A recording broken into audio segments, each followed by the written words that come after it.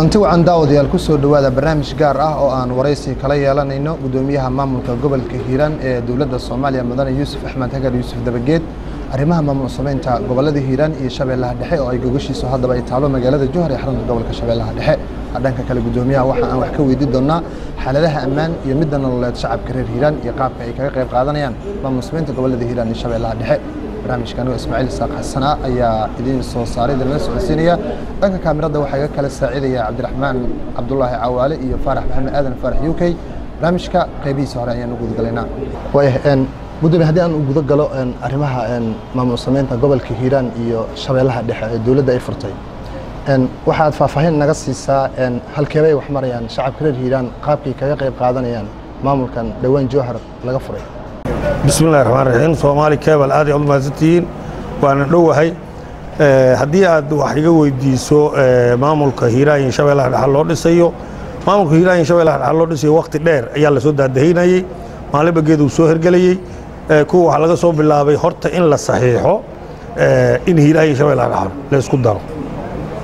Beesha caalamkaa ka soo qayb gashay madaxweynaha soomaaliyeed ka soo qayb galay golaha wasiirada ka soo qayb galay waxaa saxiixday kow sagaal wasiir oo hiiraan iyo shabeellaha dhexe ka soo jeeda iyo labada gobolatoore waa soo dhaafay kadib xildhibaanada hiiraan iyo shabeelle dhexe ka soo jeeda iyo madaxweynaha soomaaliyeed ayaa dib u tashaday. Waxaa ka horeeyey horta in afar iyo toban qofood oo loogu loogu magacaabay inay yihiin guddiga farsamada. Wasiirka arrimaha gudaha soo saaray. Arrintaas reer hiiraan reer shabeelle dhexe aad bay uga buuqeen madaxweynaha iyo xildhibaanada iyo wasiirka arrimaha guduhu waa iska warsadeen. Arrintaas waa la laalay dibaa loo celiyey maadaama dadkii xoogaa ay ka buuqeen. Kadib xildhibaanada reer hiiraan iyo reer shabeellaha dhexe ayaa talada waxaa lagu siiyey amar waxaa lagu siiyey in ay soo tashadaan meesha gogosha dhigaa iyo meesha caasimad laga dhigaaba inay soo sheegaan. Caasimadda waxaa loogu talagalay in laga dhigay ku soo heshiiyeen xildhibaanada reer hiiraan iyo reer shabeellaha dhexe waxay ku soo heshiiyeen in laga dhigo buulmud degmada buulmudta ee ka tirsan gobolka hiiraan gogoshana in la dhigo degmada jowhar ee caasimadaha gobolka shabeellaha dhexe shirkii waxaa la furay maalintii aan soo dhaafnay oo bisha koobaad maars janaayo ay aheeday afarteedii inay aheedaan malayn maya istakfirullah waxay aheeday toddobadiidii inay aheedaan jeclaha toddobadii bisha ayaa waxaa la yidhi hiiraan iyo shabeellaha waa soo gaartay aniga. Toddobadii bisha ay soo gaartay. In hiiraan iyo shabeellaha dhexe shirkoodii laga furayo degmada jowhar oo awalba laysku ogaay in gogosha halkaa la dhigo wasiirka arrimaha gudaha iyo madaxweynaha jamhuuriyadda soomaaliya ee federaalka labaduuna way la soo hadleen. Waxay ii sheegeen in boqol qofood looga baahan yahay xafladdaas ka qayb gasho reer hiiraana maalintii shirka la furaya madaxweynuhu imaana ama golaha wasiiradu imaanaan oo hogaaminayo wasiirka arrimaha gudaha.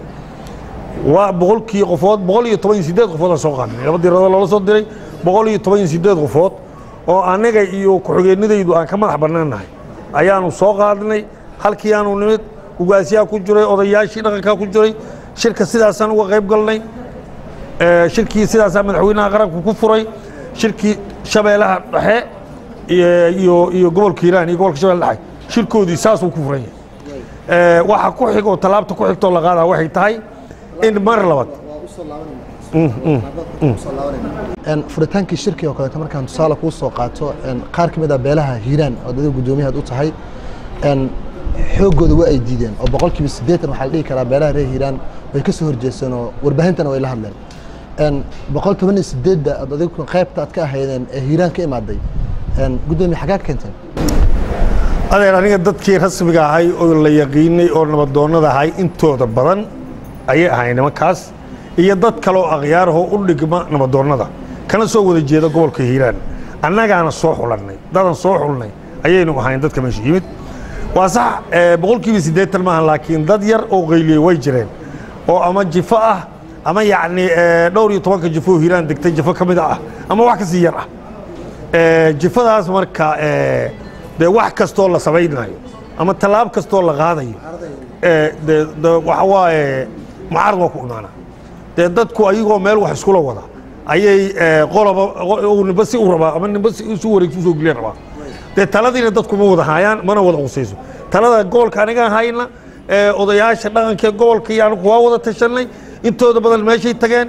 Cid kastoo arrintaas wax ka tabanaysa oo gobolka hiiraan ka soo jeedana annagaa u tegayna annagaa la fariisanayna annagaa la xaajoonayna waxay tabanaana annagaa ku qancinay. Waayahay een, qaar ka mid a waxgaradka reer hiiraan oo telefishinka ah, la hadlay waxa ay sheegeen in maamulka gobolka afduub uu ku sameeyey dadkii ka qayb gal lahaa shirka oo kaleeto tusaale xilli habeen ayaa waxaa la sheegay in qaar ka mid a odayaashii qaar ka mid a aad idinku soo tashkiiliseen oo juhar keenteen. Ee, taasoo jirtana waxaa la idinku eedeeyey maamulkiina gobolka hiiraan gogashii tacsidii ugaaskii oo taallo oo weli aanan la laabin inaad yacni aad shacabkii aad idinka wargelin aan iska soo aadeen adiga ayaan lagugu eedeeyay oo gudoomiyii gobolka. Ah maxaad kaga jawaabaysaa aniga horta eh, in eede- in la eedeeyo waxaa la yidhi nin durbaan qaada ilaaq dal baa la yidhi. Aniga mar haddii eh, guddoomiye aan noqday in la eedayna laa shaka waay. Wax hadda eh, kuleli qabo weyn igu hayana ma ahan.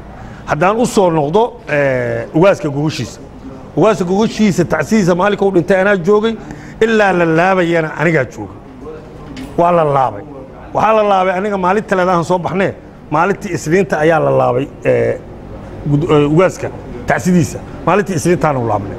Ugaaskii kale maalintii isniintaanu caleema saarnay. Ugaasaa hadda ay leeyihiin beyshii ugaasku ka dhintay dee aniguna ugaaskaas uma eh, qoladu ka soo jeeda kaliya uma ahayn guddoomiye. Dhowr iyo toban qabiiloo hiiraan degtaan anigu guddoomiye u ahay qaybtaas ka mida oo qabiilkaas ka mida ahna dee tacsidooda waa ka qayb galay kaalinteydii waa ka buuxiyey gogashoodhiina waanu laabanay qabiilaadkii kale ayaga wixii ka dhexeena in layga qabtaa layga rabaa anigu inaan ayaga kaliya aan guddoomiye ahay ama ayaga kaliya aan u xayiranahay maaha waxaa jirta marka qaar ka mid a beelaha dega gobolka hiiraan.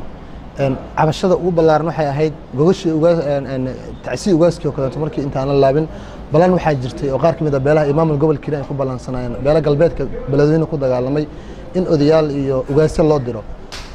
Ayagoo kaleeto waxaa la yidhi lagama wargelino taladii oo ay ka maqnaayeen shirkii maxaa kaga jawaabay? Galbeedka hiiraan eh, dadka yimid bay u badan yihiin eh, shirka jowhar. Eh, galbeedka iyo iyo iyo iyo bariguba way ka soo qayb galeen. Meeshana hadde hiiraana la yidhaha ama beled weynaa la yidhaha gaar ahaane galbeed iyo hiiraan dadka mugay wax xumay rabaan la yidhaahdo dagaalka meeshaas ka dhaco labada jifo ka dhex dhacayna. Dee kow anagoon gobernatoore ahaynaan bilaabay shaqadiisa. Markaan gobernatoore ahayna waa waday. Haddaana meel deganay ii taalla. Madaxweynaha soomaaliyeed iyo wasiirada qaranka soomaaliyeed ah aa iigu yimid. Arrintaas meel fiicanay loo taallaa hadda meeshaas fiicanoo annaga iyo madaxweynaha iyo golaha wasiirada iyo odayaasha gobolka hiiraan aan isla dhignayn loo taallaa ayadaana ka sii daadahay doonaaho waxaan noo dhiman waa dhammaystiri doonaa haddii aan laydo ugaasyo iyo odayaal iyo wabarrana waa u dirnay way ka soo jawaabeen labada jifood dirinaysa midna wabaray leeyihiin midna ugaas bay leeyihiin. Labadooda waxaan ka saxeynay inay nabad qaataan iyo xabad joojinaan ka saxeynay Waayahay, een, mudane dabageed adigu waxaad ahayd guddoomiyihii gobolka hiiraan muddo aan dhoweyn. Muddo sanado ah waxaad ahayd siyaasiyiinta gobolka soo jeeda. Gobolka waxaa soo maray gobernatooryaal kale ayaa gadaasho ayaa la soo magacaabay. Ama dowlad ha ahaadeen ama si kaleba ha ku soo mareen. Een, waxaad moodaa in lagu kala aragtiyo dubnaa shacabka reer hiiraan adigu markii lagu magacaabay madaxweynuhu uu ku magacaabay shacabka reer hiiraan dhammaan qabaa'ilada waa ay ku taageereen. Maxaad ku kasbatay shacabka reer hiiraan maxay kula tahay? Waxaan horta taas intaana kaaga jawaabin hadalkaaga hore ku jirto kaaga jawaabi rabaa. Oona ina iska hilmaamo aanan rabin. Maamulkaa soo afduubay odayaasha. Anaga wax ma afduubnaadeen waxna eh, qoraygu ma qaadano. Dadka annagaa ka wakiila. Dowladda soomaaliyeed waxay waddo ama ha ahaada maamulka shabeellaha dhexe iyo joor lagu dhisaa. Ama eh, tale kale oo shabe hiiraan laga raba ha ahaato. Dowladda soomaaliyeed kow horta aniga igu qancini. Arrinta shirka furitaankiisa aniga saddex maalmoodaan dowladda ka doodayno madaxweyne ugu dambeeya ila soo hadlay. Madaxweynaha wuxuu aniga igu qanciyo aniga madaxweynuhu iskula qanacnay. Aan reer hiiraan ku qanciyey intooda badan. Markay ku qanceenna way ka soo qayb galeen. Annagoo raalli aan isi soo raacnee wax la soo afduubay ma jiraan afduubiddu barabagaanka qayb ka mid waa laakiin barabagaan eh, qofka haddii madax laga dhigo waa la barabagaana dee in la barabagaana aniga hadda wax weyn uma arkayno. Laakiin waxaa la rabaa waxa la sheegaa inay noqdaan wax saxa wax saxa inay noqdaan. Su'aasha aad weydiiso ahayd eh, maxaad ku kasbatay? Eh, taas inaad weydiidaan ficneed horta shacabka reer hiiraan waxgaradkooda iyo aqoon-yahanadooda iyo odayaashooda inaad weydiiso. Dee gudoomiyayaashii hore waa lagu qaybsanaaye maxaad adiga eh, lagu wada taageeray. Taas in shacabka la weydiiyey ahayd ama dadka reer hiiraan oo hiiraan ka soo jeeda la weydiido aniga hadda haddii aan sheego waxaan ku kasbaday. Dee waxaa laga yaabaa in la yidhaha waa isfaaninaya ama waxa jirna uu sheegaya in dadku iga turjumaan ficli. Laakiin anigu aragtiyda markaan ka jawaabo aniga dadka reer hiiraan laba jeer hadda kahor madax u soo noqdo markaan markii saddexaad waa. Waxay marka saddexaad ee ii wada taageereen markii la soo magacaabay. Dabcan dadka cadaaladaha deeqda. Dadka reer hiiraan waxa ka dhexeeyana inay u sinaadaan waxa u kala gaarana loo kala waardiyeeyo. Sidaasaan aniga uga soo shaqayn jiray. Hadda aniga inuu ugu shaqayn rabaa. Dadku intaasay rabeen waxay igu taageereen waxa waaye waxa ka dhexeeyana intaan madaxahay way u sinaa jireen. Waxa u kala gaarana u kala waardiye jiray. Taageeradana saasoo ku hel gudoomiyihii ka horreeyay ee gobolka hiiraan mudane cabdifatax xasan afrax oo kaleento isqabqabsi dhanka maamulka maamulka degmada beledweyne uu hadda gudoomiyuhu ka yahay macalin khilaafoy oo kaleento. Dhowr maray isqabteen waxyaaba isku qabteen ama ha ahaato siyaasadda ama si kaleba ha ahaato. Adigu isqaban doontaan ama waxaad noqon doontaan maamul wada shaqeeya aniga horta guddoomiyihii hore iyo maamulkiisii inaan waxba ka sheega ma rabo. Inaan hadda miidiyaha xoogaanaan ahayo waa joogay. Beledweynaan joogay ama hiiraanaan joogay. Ama soomaaliyaan joogaba. Yani waxa laysku qabqabsanayay iyo waxyaabay nimankaasu isla fahmi waayeen aniga waa garanayey laakiin hadda inaan ka sheego miidiyaha ma rabo laakiin aniga waxaan ku sheegaa aniga iyo maamulkaygu isqaban mayno maamulkayga iyo aniga waxaan ku ballansannahay aniga haddaan qaldamo anaa ka ah meesha imaam. Jameeco kasta oo imaamay leedahay. Gobolka hiiraan anaan imaam ka ah. Aniga haddaan salaada imaamku hadduu salaada sugana dee dadka kale salaadda kuma ka jabayso haddii laakiin imaamku salaada qaldo dadka kale salaadda waa ka qaldamay aniga waxaan jeclahay inaan salaadda aan sugo oo salaaddu iga jibin maadaama aan imaamkii ahay. Dadka kalena in igu raaci doonaan u malayna waa mahadsanta intaanan xilka lagu soo magacaabin magaalada dilil ayaa ka dhacay oo kacdoon shacab sameeyey oo dagaallo ayaa ka jiray. Markii guddoomiyaha lagu soo magacaaban waxaad moodaa xasraddii inay yaro degtay. Maxaad ku xallaysa arrimahaas? Arrimahaasu waxay ka mid tahay waxaa dejiyey taageeradaad sheegaysa taageeradaad sheegtay qayb ka tahay. Runtii hadday dagaal qabiil ahayd iyo haddii xasarad yacni aheeday dad la dilay ka kacday kulli waa wada dejiyey waxaana ku dejiyey. Qolo kasta waxaan u sheegay waxay xaq u leeyihiin oon bagarabagaan oonu ku jirin oon yani beenu ku jirin oon ballan layskaga baxa ku jirin ayaan kula ballamay. Qoladaan qancin karana waa qanciyey qoladii kalena inaan qanciyaan u ballanay sidaan kula ballamaana fuli doona haddii alla waayahay dhanka markaan u soo laabanno waxaa tahay guddoomiyaha guud ahaan ee gobolka hiiraan. Sidaan ognahay degmooyinka gobolka intooda badan gacanta dowladda kuma jirto oo marka laga reebo jallaqs iyo bulburti iyo beledweyne oo inta kaleento markaan tusaalaan kuu soo qaato oo kaleento deegaanada maxaas moqokori oo kaleento dhanka markaa soo aado garisaani oo kaleento markii maalin dhaweyta weeska daar uwees lagu aasayo oo kaleento maamulka gobolku ay ka qayb geli waayeen oo ragga mucaaradka dowladda al-shabaab waxa ay sheegeen inay si beelnimo ay ku aasan karaan oo si kale lagu aasi karin. Markaan eego dhanka miiga ceel cali oo kaleento buqa qable aagga galbeedka markaa eegno oo kaleento shabaabaa gacanta ku hayo. Maxaa kaaga qorshaysan? Horta beelaha waa beelaha waaweyn oo ama degmooyinka rugagood ah ama beelaha baraha waaweyn oo oo oo degmooyinka u dhigma oo haddii matel laga laga sida moqokuri oo kale sida ceel cali oo kale sida farlibaax oo kale sida halgen oo kale oon haddana degmo ahayn laakiin degmo u dhigma sida beergidiid oo kale oo gobolka hiiraan ka kooban kulli gacantaa lagu hayaa shanta degmo oo hiiraan oo ka kooban yahana gacantaa lagu hayaa meelo yaryaray nimanka nabadiidka ku dambeeyaan. Meelahaas yaryaray ku dambeeyaan annaga iyo dowladda soomaaliyeed qorshaa looga samaysa maxaasoo kaleeto ma dowladda gacanta ku haysa dowladda gacanta ku haysa maxaasi moqori dowladda gacanta ku haysa waa meesha ugu amni badan waa meesha nimanka la yidhaha macawisley ay ka shaqeeyeen jallaqsi haddaa ka tagto moqokuri iyo maxaas waa tigi kartaa. Moqokuri iyo maxaas haddaa ka tagtana jallaqsi iyo bulut waa tigi kartaa maalin dhaweyto aagga tardoo kaleento marka laga hadlayo halgan iyo garisaan aagga deegaanka tardoo kaleento dhibaatooyin fara badan ay shabaab ka geysteen sida la sheegay ma waxaa leedahay marka gacanta dowladda ayaa ku haysa ayaa leedahay dhibaatana waa ay ka socota meesha waxaan sheegaa aniga rugta waay moqokuri oo kale hadda tardoo kale waxa laga xumaan jallaqsi jallaqsi buga degma ahaan waa lahayaa laakiin tuulo ka mida jallaqsi haddii tarda tahay tarda waa joogaan waa sax garisyaani waa joogaan waa sax booco waa joogaan waa sax meelaha nuur farax iyo waa joogaan tuulooyinsaasay joogaan waa jirtaa. Laakiin moqokuri gacanta dowladda ku haysta maxaas gacanta dowladda ku haysta maxaasi moqokuri maxaasi beledweyne way wada shaqeeyaan moqokuri iyo beledweyne way wada shaqeeyaan beergadiid iyo beledweyne way wada shaqeeyaan matabaan iyo beledweyne way wada shaqeeyaan jallaqsi iyo buluugta way wada shaqeeyaan. Meelo yaryar oo dhanka qoraxsika u badan ayay ku dambeen isu socodka kaleento Isku suuragal idima maxay micnayso kordhinaya marka inaad eh, jallaqsi iyo buulo burti iyo matabaani inaad gacantaad ku haysaan haddii waddada aad mari karin wadooyinku mid kaliya maaha waddada la mari karo midda laamiga waa laakiin wadooyin kaloo badanoo la maro. Ama la mari karaa jirta midda laamiga lafteeda iyo kuwa kale oo- laamiga u dhigmo caqabadu ka jirto. Anaga dowladda qorshaa looga samaysan eh, in maaragtay la hagaajiyo oo sida buulburto gacanta loogu hayo ama jalabsi gacanta loogu hayo ama maxas gacanta loogu hayo. In eh, ama balwini loogu hayo gacanta. Inaan gacanta ugu qabanno eh, nabadii aan ku soo celinno qorshaa looga samaysan. Waay. qorshahaasoona rabin hadda inay miidiyaha ka sheego awoodda waxaad moodaa een, xarakada al-shabaab ee dagaalka idinkula jirtaaho markaan tusaale aan su'aal aan kaa weydiiyo waa dhoweet waxaa yimid xildhibaan reer hiiraana beledweyne ayay ka degeen. Dhankani waxay aadeen deegaanka ceel calay. Motoor iyo ceel kabaar meel la yidhaahdo dhexdooda dagaal xoogan ayaa ku qabsaday. Haddii ceel calay ay xildhibaanada ay tegi karin booqa qable ay tegi karin ceel kabaar ay tegi karin beledweyne ay ka bixi karin deegaanada gacantaad ku haysaan maxaa micnay shacabka soo kordhinaysaa? Soo caqabad maaha. Waxaa micnaha soo kordhinaan ku sheega xildhibaanadu ceel cali waa tageen. Intaasoo habeenay soo joogeen.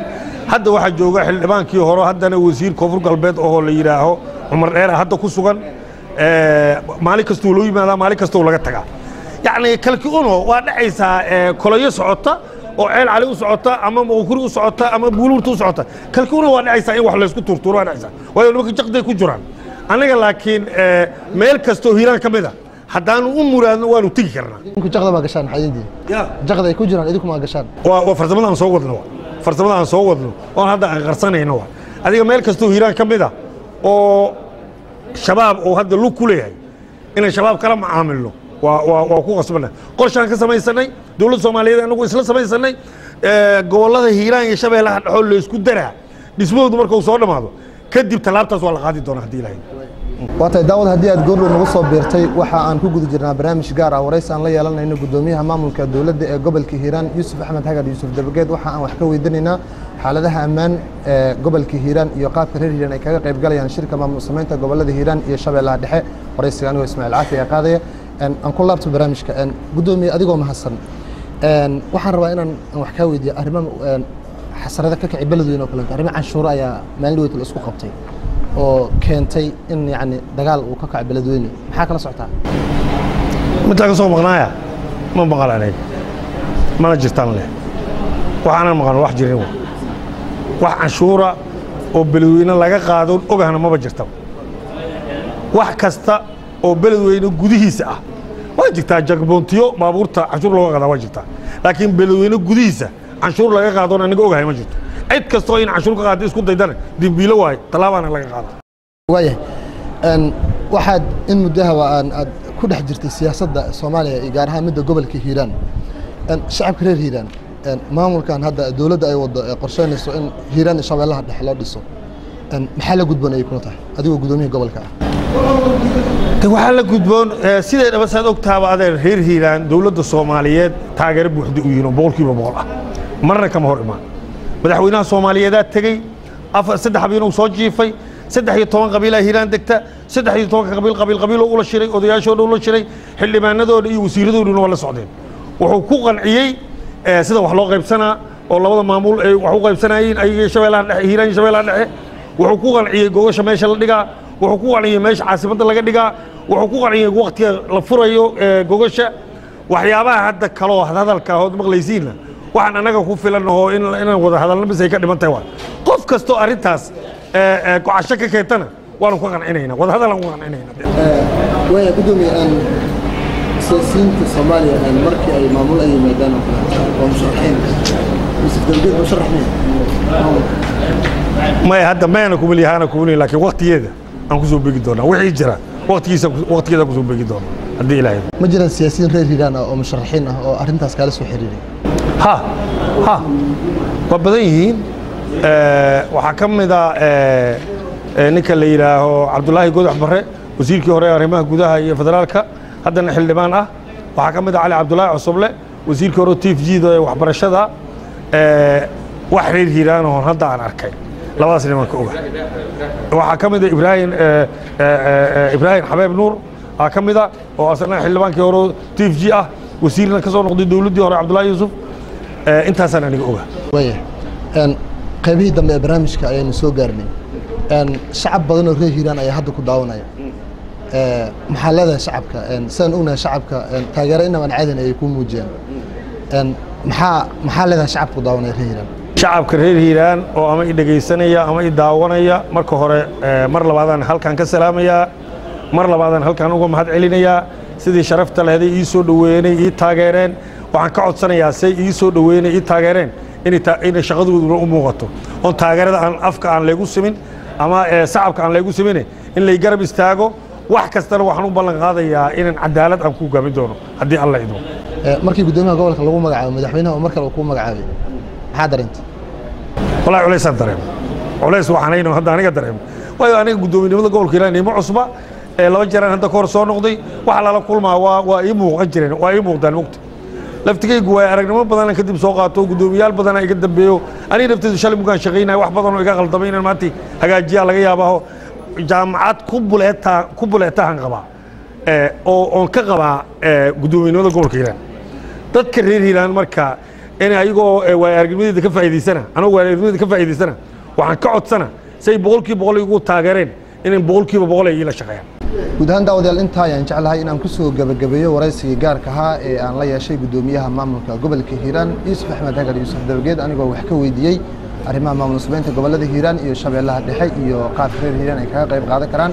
Waxaan sidoo kale aan guddoomiyuhu aan ka waraystay arrimaha ammaanka horumarka iyo shacabka reer hiiraan qaabka kaga aadan inay ka qayb qaataan shirka maamul subeynta gobollada hiiraan iyo shabeellaha dhexe anigoo ismaaciil caafi ee barnaamijka idiin soo saaray idinla socodsiinayey tan intaan barnaamijka mid la mid aan ku kulmayn waxaan idinkaga qeybsanay nabadgelyo asalaamu allahi calaykum waraxmatullahi wabarakatu gudoomiye aad waa maastaan